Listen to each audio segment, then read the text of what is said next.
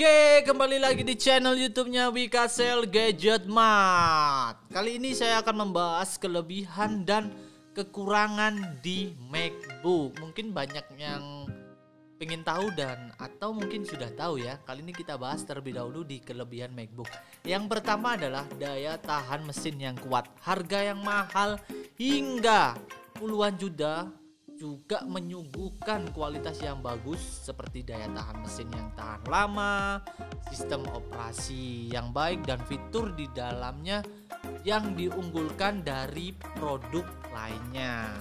Selain itu juga terdapat aplikasi pengolah data yang dapat membantu menyelesaikan pekerjaan ataupun sekolah ataupun kuliah. Wah, mantap banget nih.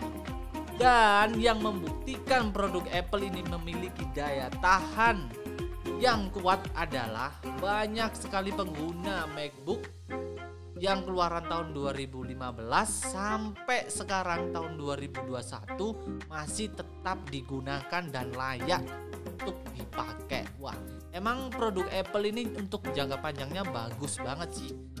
Menurut saya karena juga saya pakai Apple sih. Haha. Yang kedua adalah keamanan sistem operasi yang baik dibandingkan produk yang lainnya. Produk MacBook dari Apple ini keamanannya sangat terjamin dan juga kita tidak memerlukan software yang antivirus itu nggak ada di MacBook. Jadi uh, kayak Trojan dan lain-lain itu nggak ada. Jadi langsung aja. Jadi nuno virus-virus klub kalau di MacBook. yang ketiga adalah desain yang keren Selain dilihat dari daya tahan dan keamanannya, cenderung orang ini membeli MacBook itu dari segi desain, selain dari segi fitur ya. Karena desain MacBook ini simple, keren dan elegan. Serta ukuran dan bentuk MacBook terbilang tipis atau slim ya, tidak berat seperti laptop gaming yang lainnya. Jadi memudahkan untuk dibawa ke mana-mana dan menambah produktivitas Anda. Wah, mantep banget nih ternyata MacBook ya. Tapi saya masih belum punya MacBook ya. Yang keempat adalah user friendly. Dari segi sistem operasi, MacBook menawarkan sistem operasi bernama Mac OS yang memberikan pengalaman baru terhadap pengguna baru atau juga mempermudah pekerjaan dikarenakan mudah digunakan dan bisa memberikan manfaat yang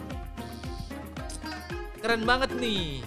Display layar yang menakjubkan. Ketika kita melihat uh, layar laptop ataupun lain terkadang mata kita itu terasa pedih ya karena kan kualitas layar yang baik serta sekarang lagi populer juga yang namanya retina display yang dapat memanjakan mata kita. Nah, ini cocok untuk para desainer karena dari segi tampilan yang ada di layar, MacBook ini memiliki warna yang akurat. Jadi warnanya akan sama ketika dicetak biasanya seperti itu. Yang keenam adalah bisa diinstal Windows. Untuk kelebihan yang terakhir ini sih dapat menjelaskan sistem Windows yang bisa dioperasikan di MacBook. Kalau Windows untuk MacBook nggak bisa. Jadi ini MacBook untuk Windows bisa banget. Ini yang dinamakan dengan Bootcamp. Jadi menjalankan sistem operasinya secara paralel atau virtual. Itu sih keenam kelebihan dari MacBook, tapi juga ada kekurangan dari MacBook. Langsung aja kita bahas. Yang pertama adalah harga perbaikan atau servis yang mahal. Jadi jika kalian punya MacBook atau punya produk Apple yang lainnya itu dirawat dengan baik-baik, jangan sampai jatuh atau kecelakaan yang nggak kita duga ya karena biaya repairnya itu sangat mahal. Apalagi layar untuk MacBook Pro itu harga hingga sampai 10 jutaan atau lebih itu juga bisa. Jadi sayang banget kan kita hanya mengeluarkan tabungan kita untuk repair uh, MacBook yang emang benar-benar butuh perjuangan untuk belinya. Jadi harus dirawat dengan baik-baik. Yang kedua adalah service center atau tempat servis langka karena servis di Indonesia untuk saat ini masih tergolong e, langka ya menurut saya karena masih terdapat di kota-kota besar.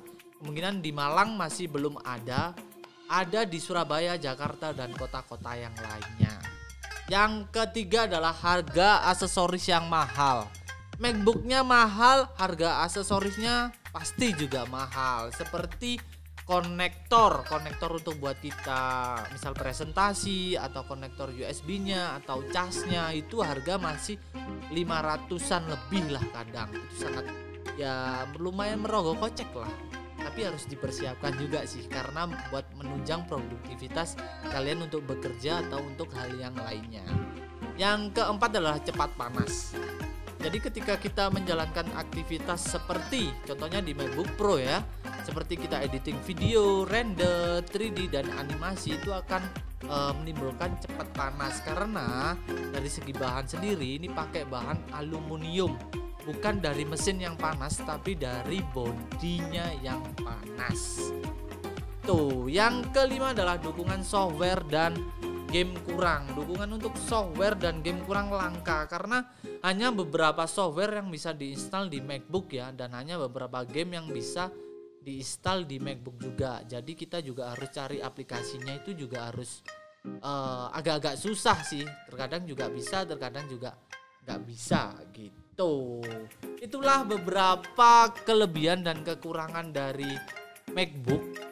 Kalau ada kekurangan atau kelebihan yang lainnya bisa tulis di kolom komentar. Terima kasih buat teman-teman yang sudah support channel YouTube Wikasel Gadget Mart yang akan terus membahas tentang produk Apple kalau ada ide konten yang lainnya bisa juga ditulis di kolom komentar. Terima kasih, jangan lupa like, comment, share, dan subscribe. Oke, see you.